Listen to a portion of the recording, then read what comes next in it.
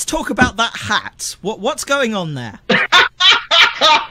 this hat, you talking about memories. This was made by my mom. Actually, no, this was not made by my mom. This was made by a friend of my mom's Okay. who does, who does crocheting of uh, sock hats, and we actually had one made for a friend of mine's child who was into Thomas. And me growing up in the '90s, you can't not know about Thomas the Tank Engine. So I'm like, Well, yeah, I want one obviously. to get on that.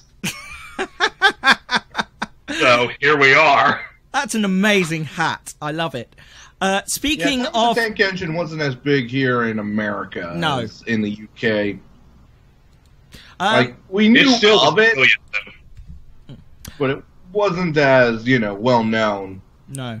Impy says, uh, "Does the hat behave better than Thomas at the NVR?" Sterling. No, it behaves better than Thomas at the Tennessee Valley Railroad Museum. Just saying, just saying. Funny story, actually, at the Nene Valley Railway where I volunteer, we've got the original. Uh, and I'll tell you why this is. Um, the Reverend W. Awdry, uh, who wrote the original books, uh, actually lived near Peterborough in Cambridgeshire. And um, he used he knew of this little blue tank engine that worked uh, the, at the British Sugar Factory in Peterborough, and it was that tank engine that he wrote the books based on. Now that was his inspiration. Uh, and as a result of this, when the Peterborough Railway Society was formed, when the what now is the Nene Valley Railway was originally closed during the Beeching cuts, uh, the the blue tank engine uh, number. F- what, what what is Thomas's number? Number eighteen hundred. There we go. Uh, was sold to the Peterborough Railway Society, uh, and the Reverend W. Awdry actually came and named it Thomas. So we have Wow, got the original. awesome. It is awesome. It's it is awesome. Do you know what else is awesome? Speaking of arts and crafts projects, I'm just going to spin the webcam round here. Yeah. My dad built me that when I was a baby.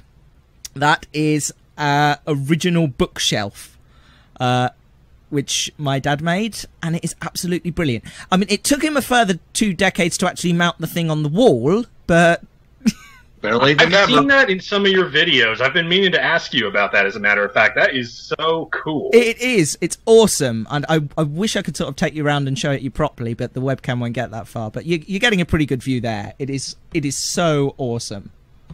It I is. just- That I- is really cool. It's- I bet it took him forever to make it. Oh yeah, no, no, he spent ages in our garage, you know, sawing wood and all sorts. It's absolutely amazing. And if you open up the side, it has got all the original books in there, uh, which Oh, which is nice. awesome. Yeah, I love that thing. Actually, I didn't know Thomas the Tank Engine was based on a book. You didn't know that?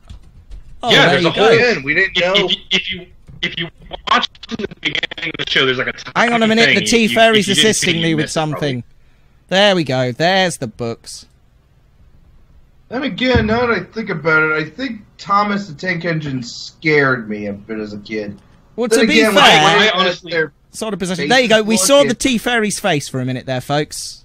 There you go. That's I special T-Fairy. moment. Bye, Hello, T T Fairy. Fairy. Oh dear.